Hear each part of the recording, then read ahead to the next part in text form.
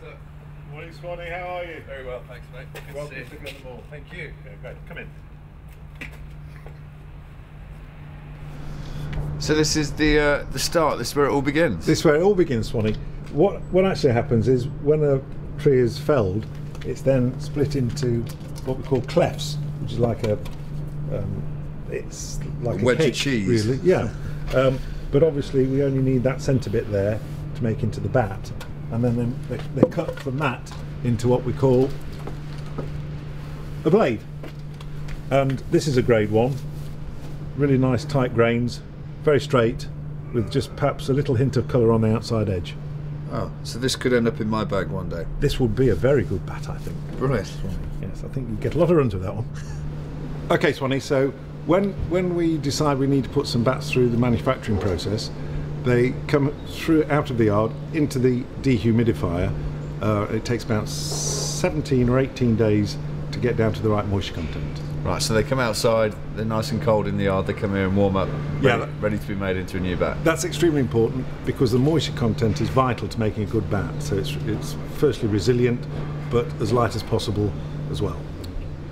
Let's have a look.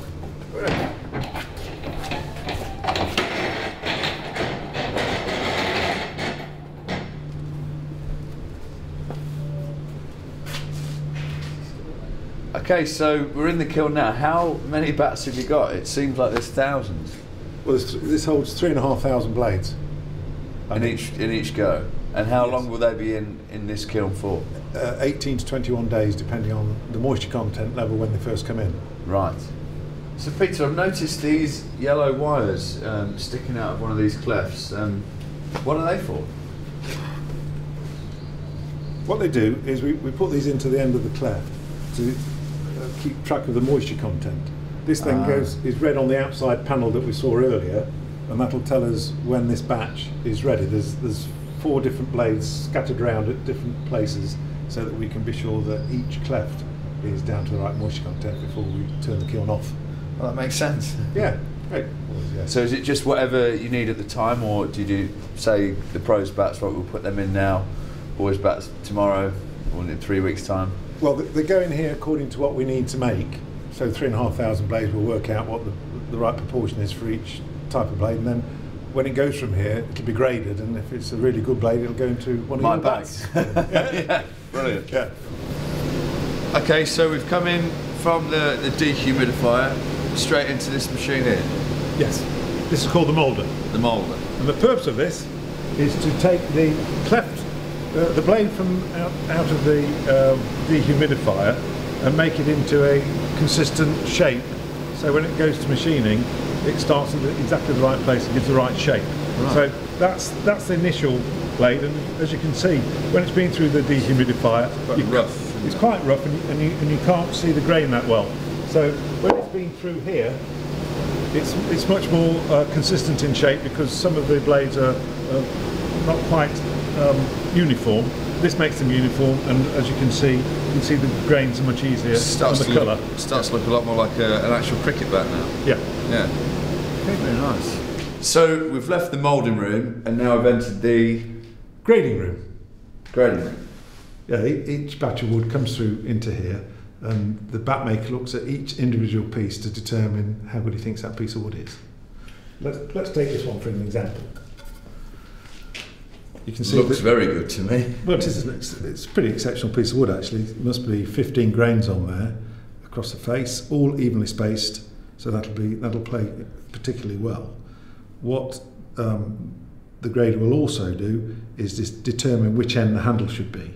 Okay. Obviously, the handle end doesn't hit the ball very much, or at least it shouldn't do. So the, the important bit is to get the best bit of the wood in the driving area As you can see here, I don't know whether you can just see that the yes, Scoops off. it, it, it's slightly bent at the top here, so the handle will go that end. So down at the bottom, it's dead straight. And how far off the, the finished size and shape and article is this cleft now? Well, that feels, feel it, that feels a pretty reasonably light piece of wood. Yeah. Um, I guess that's about um, somewhere three, three and a half to four pounds in weight. Um, it'll lose half that weight in the wood by the time it's shaped, let's just double check it on the scales. Yeah, there we are, three, three pounds ten. Spot on. So when the handle's in a rubber grip, stickered, that'll be about two pounds ten ounces, which will have a, uh, for a good size bat, that'll pick up really well. I'll have that one then. I think you should.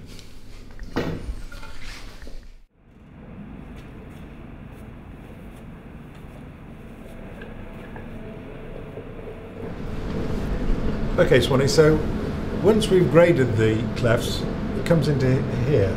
Now, the most important thing is to make sure that the moisture content is consistent in this room all through the year.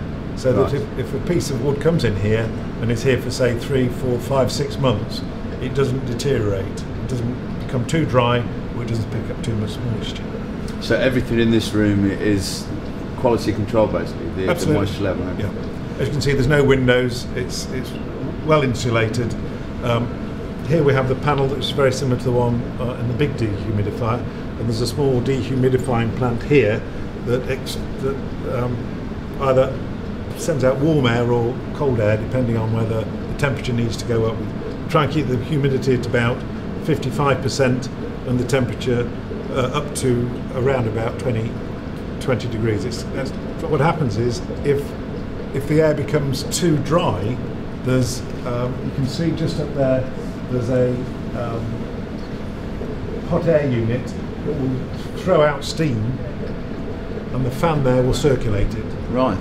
So it'll it'll make the the, the whole uh, building more humid. More humid. Yeah, yeah. So one of the other major part of the bat, of course, is the handle, and it's just as important that we uh, keep the moisture content of the handle stable as it is the blade. Yeah.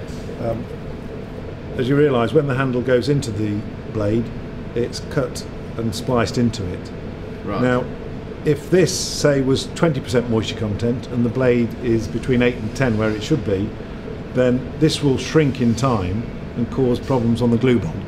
So it's imp- just important that this is at between 8 and 10% as the blade. And it's made out of the same kind of wood. No, this is made out of cane.